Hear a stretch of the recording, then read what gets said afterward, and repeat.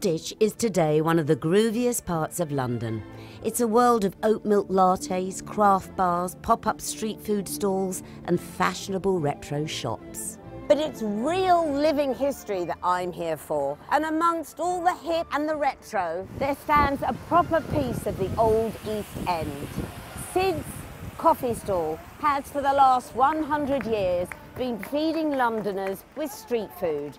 Sid's granddaughter Jane still runs it. The, the most famous thing was a Savannah slice at Sid's, which was a slice of bread, a smear of English mustard, and a saveloy. We're still old fashioned. People say, oh, can I have a cappuccino or espresso or something? Cup of froth for four or five pounds. No, that's not us. We do good quality, best quality loose leaf tea, which we have done since day one. No tea 90 bags. Oh, Although it's in this now gentrified part of town, it has its regulars black cab drivers, shop and office workers, all looking for a good old fashioned cuppa and a chat. They do probably the best drink and sandwich, you know, around here for, for the price as well. Can't get another cup of tea around here for that price. I just bought a liver sausage roll and a cup of tea. Is that your. My usual, Is usually. it? Yeah. When you say usual, how often do you come here? Well, I try and come every day. Got to be 20 years. 20 years I've been coming off and on, 20 years. It's just something you've just always been used to, standing up and having a cup of tea. But when you're standing here waiting for your bun or your coffee or your fried egg sandwich or whatever it is, you do get chatting to people and you find out what they do and what role they play locally. And it is a real community place. When Sid's first opened in 1919, people would have come for this street food because it was good quality and cheap, and that's all that they could afford. The Shoreditch area about 100 years ago was a very depressed area, but there was a lot of manufacture around here, uh, particularly the furniture trade. There were cabinet makers, furniture makers, um, veneerers, upholsterers, that kind of thing. There was a lot of um, activity on the streets. A lot of people would be going to the pubs, they'd pop off to the coffee shop on the way home, that kind of thing. And of course, people coming out of work, people working longer hours than we do, so they would need something on the way home. People would also hang around Sid's late at night, and it could at times be somewhere you might not have wanted to be. People would come out the pubs in the evening, about midnight when they chucked out, and they'd be hanging around the coffee stalls, basically waiting for someone they could mug. And the police would come along and try and move them along, and they'd say, Well, officer, I fancy a cup of coffee. They'd, well, you're not drinking one. I don't quite fancy it yet, I'll have one in a minute. And the police knew that they were waiting for someone to come along. They couldn't do anything about it. Jane's brother Stephen, who also helped run the stall, told me that Sid's wife wouldn't stand for any nonsense, though.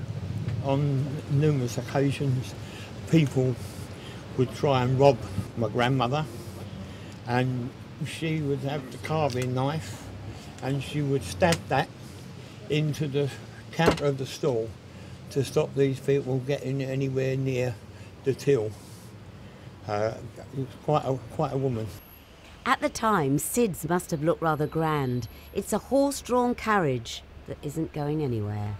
He was retired out of the First World War and he had his war pension. When he saw what was going on with all the different stalls and things, he thought, oh, that's what I'd like to get into. And he decided that he would have a stall, but he didn't want just a stall, he wanted something special.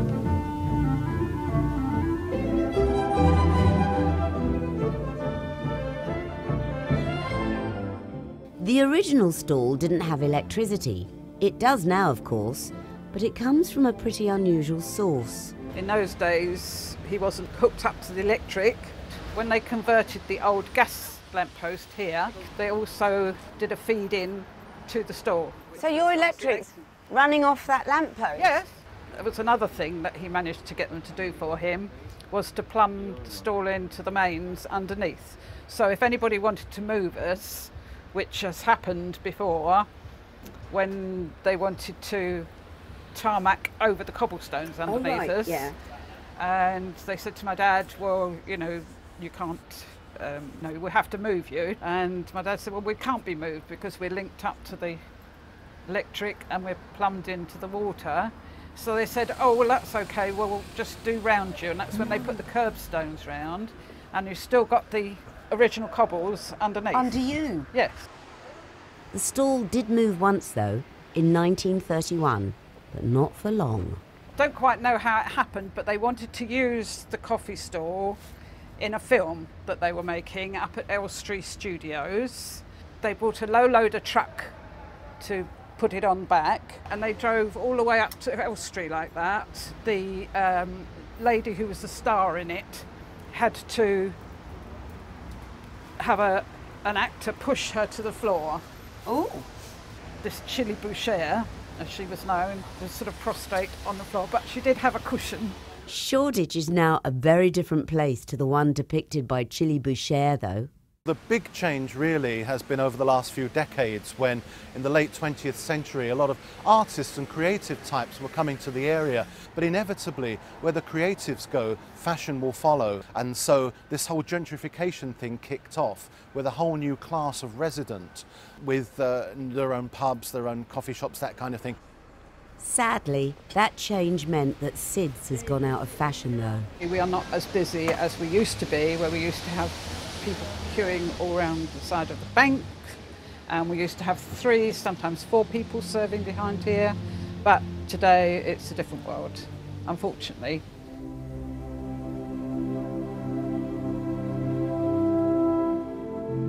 Now it's the hundred years that we've done Grandad and Dad proud, and maybe it's time to uh, move on and say let's put the stall into a museum so that everybody can enjoy it for eternity.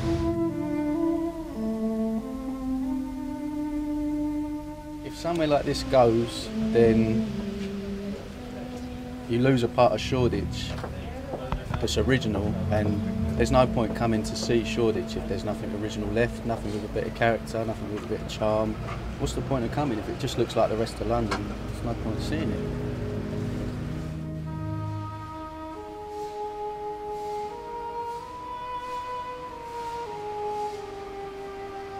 There's no doubt that Shoreditch in recent years has become a vibrant place yet again, but it's a real shame if the new people inhabiting these streets pass this place by. Sid's coffee stall has survived the Blitz, a couple of recessions, and has stayed in the same family for 100 years. It is to be cherished. So if it can no longer remain on this street, let's hope at least that a museum will take it for future generations to see.